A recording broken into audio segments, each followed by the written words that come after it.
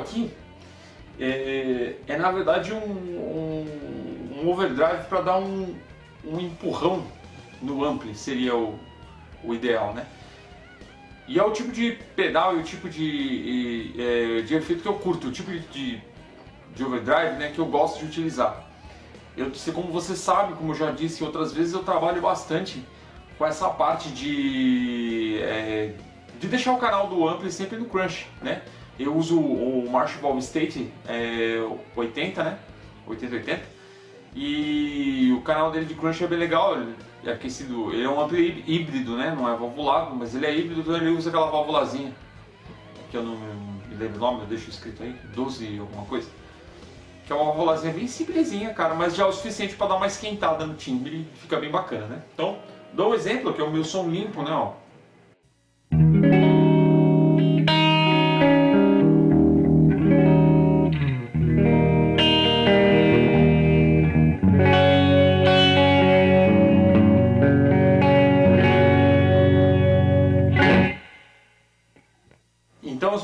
mesmo no canal de Crunch, no canal Clean, só que Crunch, só que com Crunch bem leve, né? Eu não costumo usar com muito ganho, né?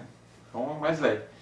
E a maior parte dos, dos minhas distorções, drives, etc, que eu jogo por cima, eu jogo em cima dessa, desse quesito aí. Eu acho que é, as ondas ficam mais legais, né? Da distorção em cima do Crunch. Bom, pois bem, com esse pedal não é diferente.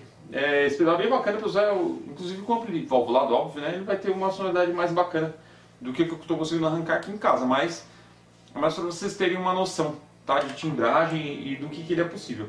Então assim, primeiro de tudo, o pedal é constituído por é, três knobs, um deles sendo o volume, o level, o segundo aqui seria é, para você mudar a equalização, que é o tone, a ideia é, é como, como eu já expliquei uma vez, é parecida com a ideia do tone de guitarra, né? Então, se eu girar ele todo, é, o pincel olhando de frente para ele, se eu girar ele todo para a esquerda, né, ele, ele, fecha para os graves, se eu girar ele todo para a direita, ele abre para os agudos, né? Olhando de frente para ele.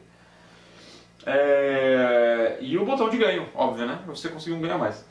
Tem uma chave interessante aqui em cima, né? Vocês devem estar vendo aqui. Eu vou deixar um pedal com zoom para vocês olharem em algum canto aí, uma fotinha.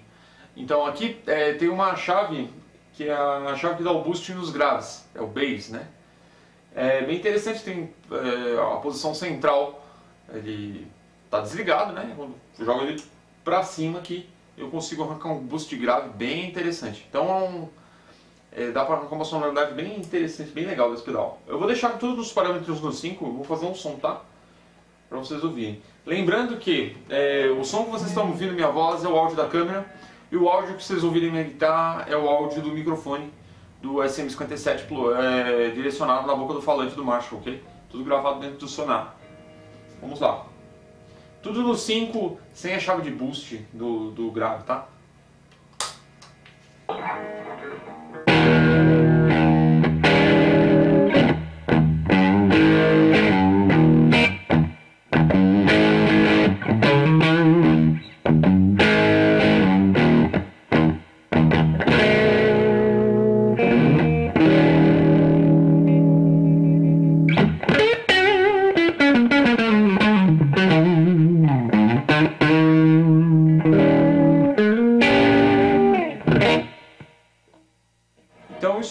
Fazer nenhuma modificação aqui nos parâmetros, tá? Eu vou só subir o grave para vocês compararem. E vou fazer uma mudança depois comparando um, um seguido do outro. Com o grave agora.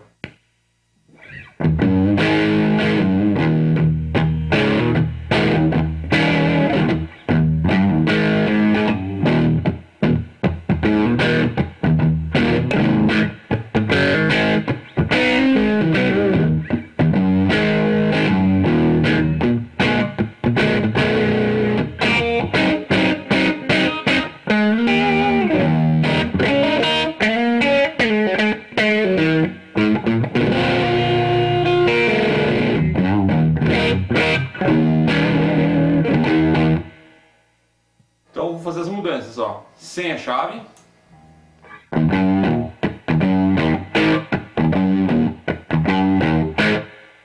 Com a chave.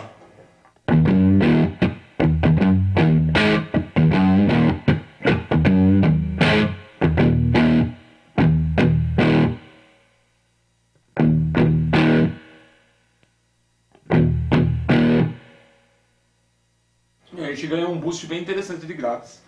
É, dando uma mexida, vou mostrar aqui o Tony, é, sonoridade que a gente tem, com ele todo fechado. Então vamos pra cá, mais graves, né?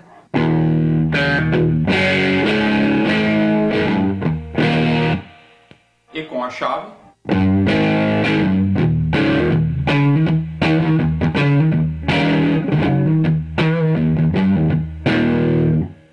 Né? Com ele todo aberto, já com a chave do grave.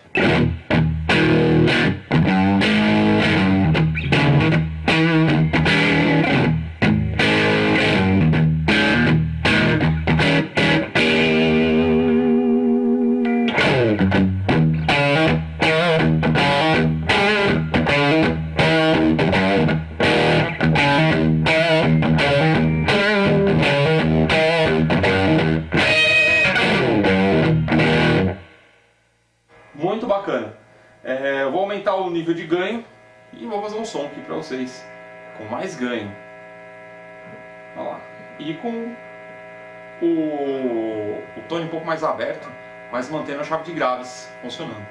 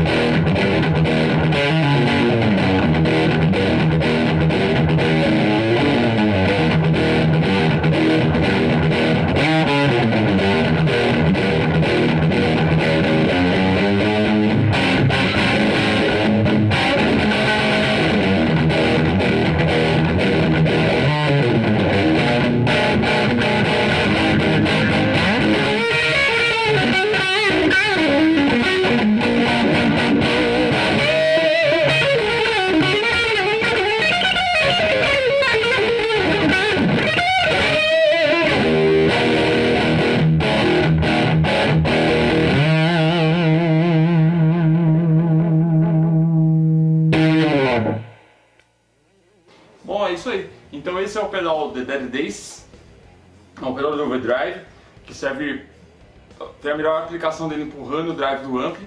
Então espero que vocês tenham curtido. É... Entre aí na descrição para conseguir, se vocês tiverem interesse, entrar em contato com o Tontone Effects.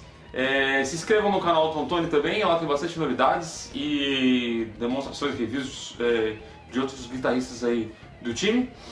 E Bom, espero que vocês curtam. Então, beleza? Semana que vem estamos aí de novo com mais vídeos aí no canal Rodrigo Cordeiro. Ok? Falou, galera. Bands up!